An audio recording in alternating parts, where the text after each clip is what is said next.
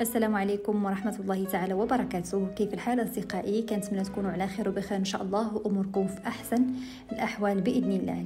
الفيديو ديال اليوم إن شاء الله هو عبارة على الكيك بمذاق ال pistache كيجي أكثر من رائع. وصفه زوينة بزاف ومنها نخرجوا من الطريقة الاعتيادية ديالنا اللي مولفين نحضروا بها الكيك.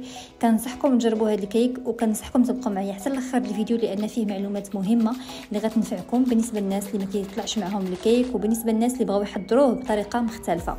غادي ندوزو المقادير وطريقه التحضير. كل ما غنحتاجو هو أربعة البيضات بدرجة حرارة الغرفة 150 غرام ديال السكر رشة ديال الملحه وساشي ديال الفاني. نخلط المكونات ديالي كاملين بالخلاط اليدوي بالنسبة للناس اللي ما فيهم ما يخدم كيف ما سبق ليا وقلتها في الفيديو اللي فات نستعملوا الطراب الكهربائي بشرط البيض ديالنا ما يطلعش. كاس مملوء أو ما يعادل 150 غرام من آه، خليط نص الزبده ونص الزيت الزبدة بطبيعة الحال كتكون مذوبة. هنا نقدروا نستغناو على الزبدة. غير الزبدة بغيت نقول لكم بأنها كتعطي واحد الطراوه للكيك اللي هي رائعة. ديروا ياغورت طبيعي أو لا ياغورت بنكهة ديال ال pistache كيف ما بغيتو. غادي نحتاج معلقة كبيرة ديال العسل. العسل بالنسبة للناس اللي ما عارفينش الدور ديال الكيك مهم بزاف. العسل كتخلي الكيك ديالنا واخا يبقى 4 أيام عندنا. بحال يلاه وجدتيه هو بحالو بحال لو سكر inverti اللي كيستعملوه في المخابز الكبرى الكيك ال madeleine وزيد وزيد. هنا عندنا واحد راس معلقة صغيرة من آه، l'arôme ديال ال pistache. بالنسبة للناس اللي ما عمرهم خدموا ب les arômes يديروا شوية بشوية لأن اللون باش ما نحصلوش على واحد الخضر اللي هو مغلوق بزاف. و même temps نمشيو في ال dosage اللي يكون معقول. هنا الكيك ديالي هز ليا 260 غرام من الدقيق وزدت ثلاثة ديال الساشيات ديال خميرة الحلويات اللي فيها 7 غرام. كلنا كنعرفوا الكيك اللي كيكون مصوب بالزبدة ما كيهزش كمية كبيرة من الدقيق عكس اللي كتكون مصوبه غير بالزيت. فردوا البال هذه المسألة لأنها مهمة بزاف. إلا بغيتي تحضري كيك اللي هو زوين بزاف خاصك ضروري ال crémage ما تزقليهش غادي ندير ال sachet ديال الخميرة ديالي ثلاثة ديال les sachets كيف ما قلت لكم ديال 7 غرام. غادي نحرك المكونات مزيان مع بعضياتهم. شوفوا القوام ديال الكيك تيكون بهذا الشكل هذا. ما كتقطعش وماشي خفيفة كتحسوا بها شوية ثقيلة ولكن ماشي داك الثقوليه كناخذ المول ديالي كندهنو بالزبده ونرشو بالدقيق. كندير لاباغي ديالي كيك في المول. فهاد أثناء الفران كيكون سخون على درجة حرارة 160 من الفوق ومن التحت.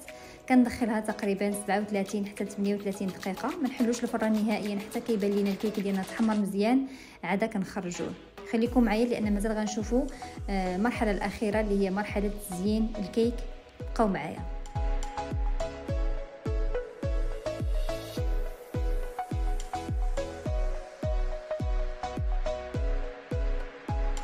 فالكلاصاج ديالنا غنحتاج 150 غرام من الشوكولاتة البيضاء. اللي كتكون من نوعية جيدة من الأفضل. كنضيف عليها 30 غرام من الزيت نباتية وكندوزها في باماغي من بعد كنزيد عليها قطرات من l'arôme ديال ال pistache نحصلوا على هذا اللوين الزوين بحال هكذا ونخليوها على جنب. غادي ناخذ 50 غرام ديال ال pistache اللي هو من طبيعة الحال محمر وقسمته على زوج. هنا حاولوا تستغلوا القشرة اللي تحيد لي القشرة هو هذاك اللي ما تحيدش ماشي مشكل.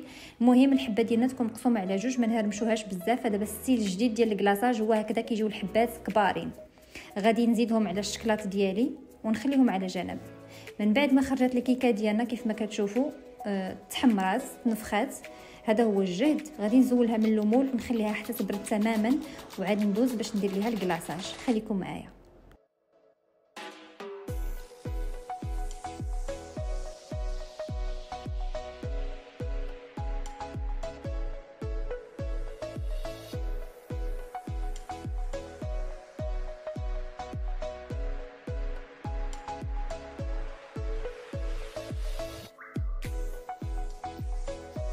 من بعد ما درت ال glaçage ديالي وبرد مزيان تقريبا خليته 30 دقيقة في الثلاجة.